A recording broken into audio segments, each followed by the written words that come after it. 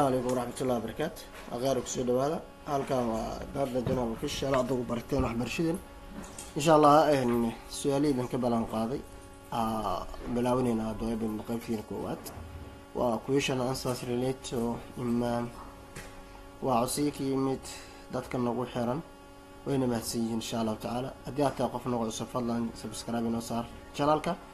Sidaas oo kaleetana la wadaag asxaabtaada ayagana sidaadoo kale si ugu faa'idaystaan imaam gadland xoogo yar markaan waxaa isfahansiinayna imaam gadland saas oo kaleeto asagoo dhammaystiran ama buuxa qeybihiisa kala duwanna. Waxaad kaga faa-ideysan kartaa qeybaha janalkiina daada janal official. Soo dhageyso kabacdi intiima su'aalaha way ku fududaanaa waana fahmi doontaa. Sidaa darteed markaa intaan gudgelin slaadkan waxaan kaga faa-ideysan doonaa qeyb yar oo imaam gadland ah. Imaam horta waxaa laga soo gaabiya integrate management of acute malnutrition. Waayo waa gadland global ka aqoonsi yahay waayo waa hanaan ama framework loo isticmaalo in treatment of acute malnutrition loo sameeyo. Trade acute malnutrition. Waxaa loo isticmaala si loogu daabeeyo acute malnutritionka gaar ahaan carruurta yaryar. Imaamka gadlandka component uu leeyahay markaan. Four component of imaam gadland allah gadaal u tagi doonaa. Community mobilizerka ka mid ah outpatient therapeutic programka ka mid ah. Community mobilizerka waa tiimamkan outreachka ama wacyigelinta. Waa qeybta ugu muhiimsan ee programka wax ka muhiimsan ma jirabo haddaanan community mobilization uusan lahayn programka ma soconayo. Sidaa darteed markaan wacyigeli waa in la helaa. Saas oo kale outpatient therapeutic program o t b waa in waxaasma dadka qaarkood o t c ay dhahaan. Program meeshuu yahay care ay ku bedelaan sida inpatient care oo kale uu yahay. Saas oo kaleeto qodobka saddexaad waa supplementary feeding program waaye qodobka afaraadna waa inpatient care for severe cases waa isagana. Sidaa darteed marka su'aalo la xiriiro aan bilaabo doono hadeemid insha allah su'aasha koowaad imaam maxaa la dhahaa? Imaam horta ereg wax u taagan yahay integrated management of acute malnutrition u taagan yahay.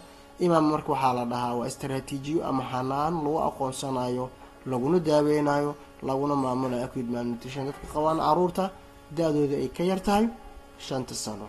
Haddii hooyada ay tahay hooyo uur leh haddii hooyada ay tahay hooyanaas ku nuujinayso iyo hadday yihiinba dadka u nugul cudurrada dadka cudurrada u nugul faniarbal populationka waxaa la dhahaa marka waa carruurta iyo duqooshiinka iyo hablaha. Intaasaa marka waxaa la dhahaa faniarbal population. Waa dadka u nugul cudurka. Dhammaantood markii la isku xasnaado waxaa fiirinaynaa markaaniti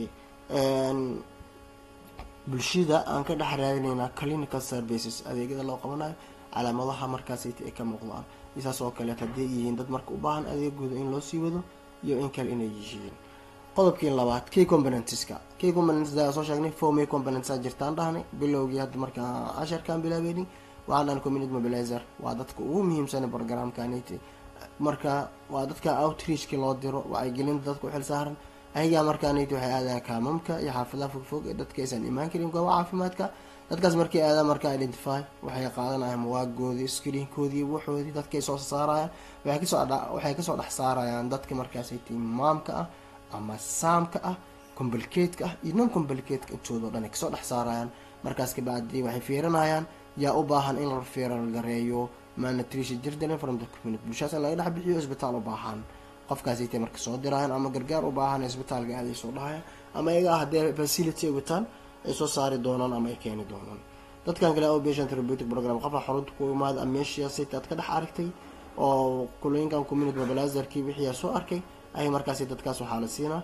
Buskudiiqaasaytaa la siinaa. Ama malmaalaad saa u taqaanid. Ama ratfi u taqaanidbo kuwaasayta marka waxay u baahan yihiin treatment of children severe acute malnutrition. Saamaha in loo daaweeyo markan saamka asaga waxaa loo kala qaaraa complicate ino complicate.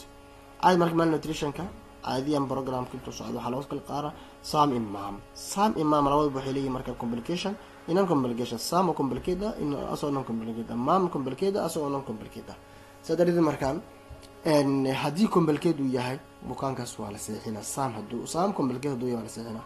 Haddii non complicate uu yahay waxaa ka fiirinaynaa markaan non complicate aan dhahnay severe acute malnutrition waa dana without complication aan dhahnay maxaan ka fiirinaynaa appetitekaan ka fiirinayna wax mucunaa qofkan haa abadaadkii hore wax jira ah maa la socto maya uu roon yahay. Barar maa jiro maya non complicate ama without complicate bukaankaas saa darteed marka ama malaatiisa la siinaa ama buskudiiqiisa la siinaa haddiiba afka wax uu ka qaadanayo supplementary feeding program waa dad marka ka soo baxsaday waxyaa la yidhaahdo o t b daas ka soo baxsaday ama saamkan laga soo fasaxay. Dadkaasa marka waxaa la siin doona ama programkan ay soo galahay supplementary feeding programka treatment of children with moderate acute